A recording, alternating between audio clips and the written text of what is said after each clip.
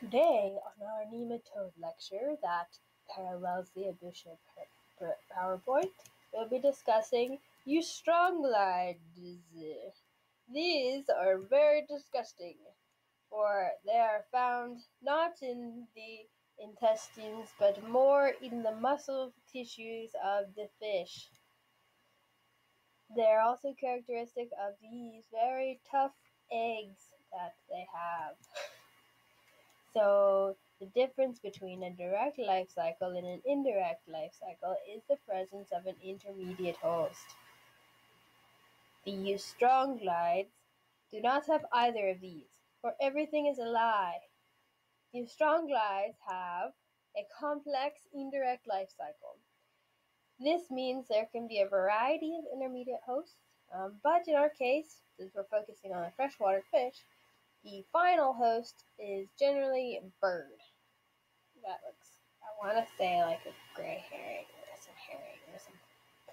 Um, so, it is also important to note that, as previously stated, these are, they lay eggs. They're not ovoviviparous or, or viviparous, means they don't give live birth. So these eggs get pooped out and then go into, this is like an oligochaete worm, or um, that is then ingested by fish or a variety of fish, which um, that is a problem. And once they, yes. So here, as we've discussed before, um, previous parasites are treated with dewormers, but those are more of intestinal parasites. This is a musculature parasite.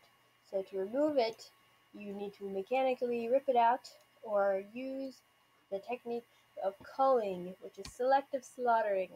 So there is no fortunate future for a fish that is infected with such a parasite as this one.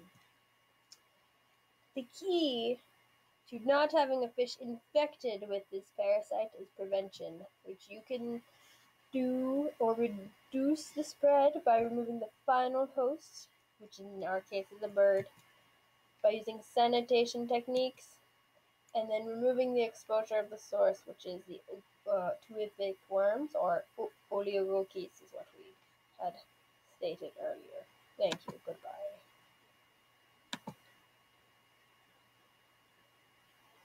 Oh, this is the last lecture.